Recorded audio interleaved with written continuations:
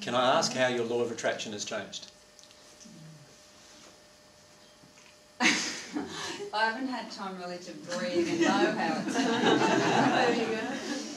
I feel that I've faced a lot of emotions and I'm growing, Yep. definitely continually growing, Yep, and I really feel joyful about that. yep, And I feel a lot more joy in my life. yep. Um, I'm still, of course, attracting certain things. Say my son and I will have a clash, Okay, so that hasn't. Certain things haven't changed. Okay. Others have. okay. Which is what is fairly normal for most e- emotional work that most people do. Mm-hmm. And my my like the the opinion that I have is that you God created you in such a way that everything that's inside of you can be worked through with God. As long as you have a desire to work through everything inside of yourself.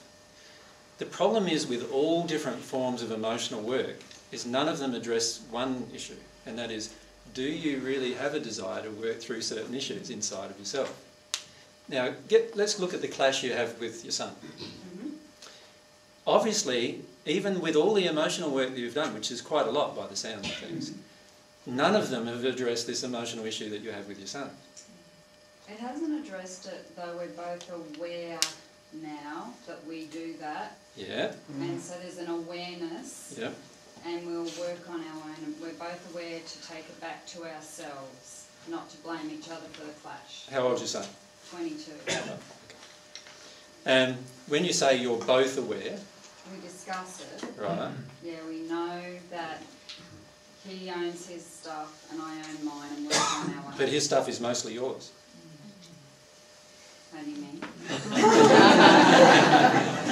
This is a, see, I suppose what I'm, I'll, I'll just address that a little Yeah. later. Yeah. What I'm saying is that what we can do with a lot of our emotional work is that we, we only focus on the issues that are the least painful for us generally, even though we do go through quite a lot of pain. What I'm saying to you on the divine path is you are going to be, if you want to be at one with God, you are going to go through every single issue that you ever got. Every single one. Now, you can, if you want, use any technique possible, anything that's out there to help you connect with your emotions. So you can do the Brandon Bays journey. You can be, you do the oneness blessing if it connects you with emotion. Do it. If you if you like massage and that connects you with emotion, do that. If you do, you know, do all of these different things. They're all fine.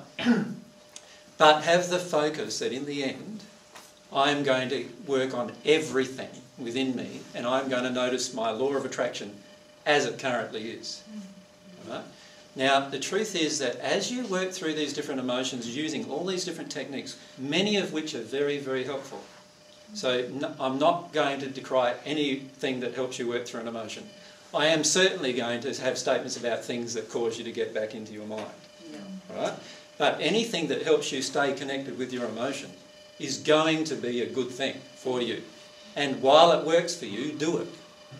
So it doesn't matter which one is. If that one's a bit simpler.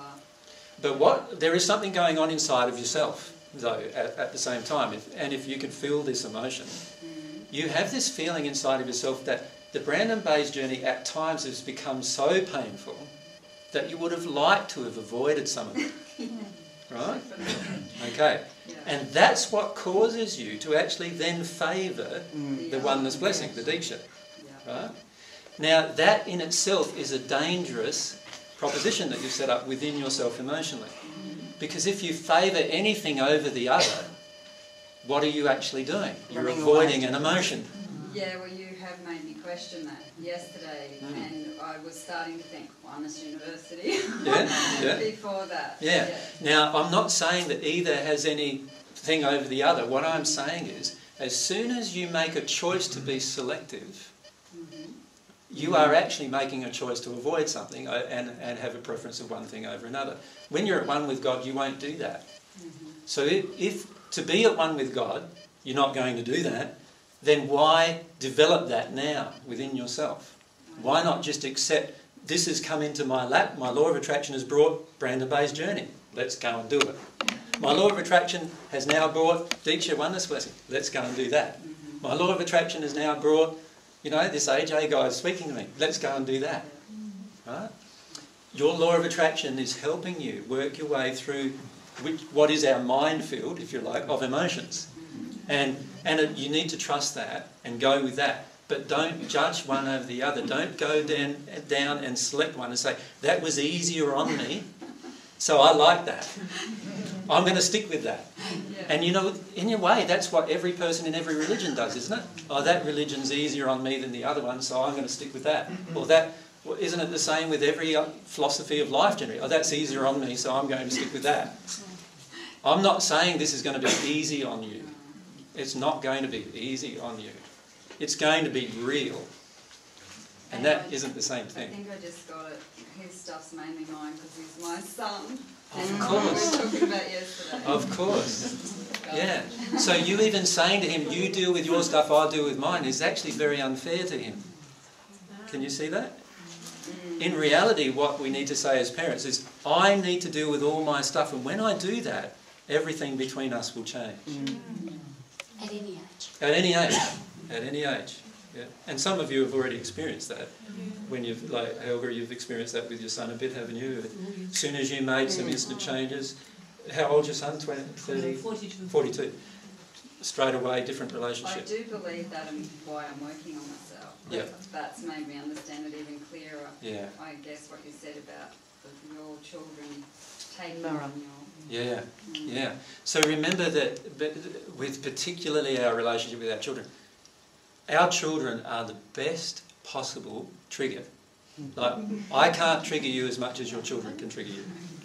Right? Your trigger is your triggers are your children.